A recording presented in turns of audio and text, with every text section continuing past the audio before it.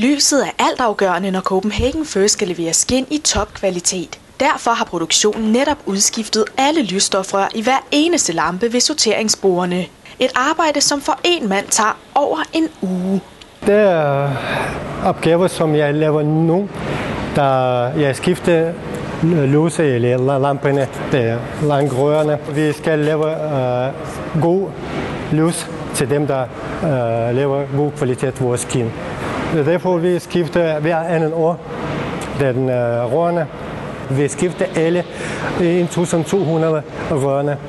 Det skal også uh, hænge op og lave uh, lige alle uh, stangerne, der er.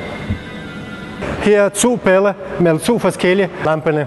Det er 950 farver uh, guld og 965. Det lyser godt. For to sider, det lamperne med rigtig stor lyse. Det der er lidt guld, men det giver øh, god øh, lys til dem, der sorterer skin.